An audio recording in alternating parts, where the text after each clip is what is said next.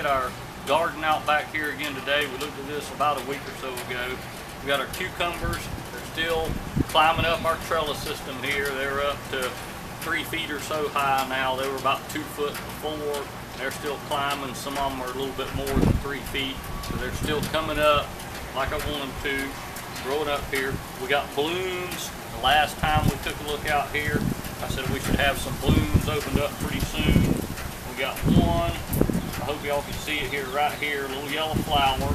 That's the bloom. These cucumbers, these actually have two different types of blooms or flowers. They have male blooms and female blooms. This particular one is a male bloom or male flower.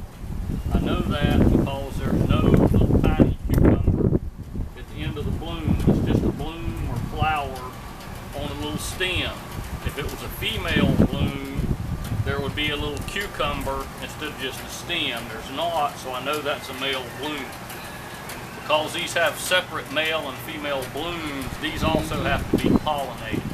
That means we have to have some kind of uh, mostly insects, bees, honeybees are one of the biggest pollinators we have. They do most of the pollination. They have to get in the male flower and get pollen on them and then get in a female flower and transfer the pollen over. Without bees and other insects, birds also do pollination as well on flowers.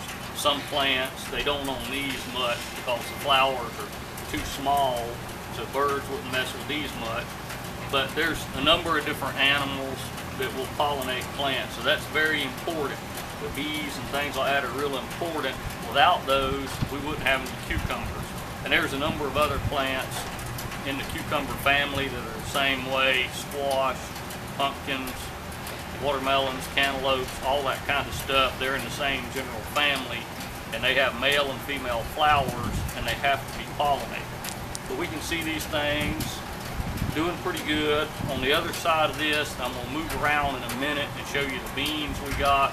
And we'll look at some of the other plants out here as well. I want to start with the cucumbers. You can see them, they're all about the same height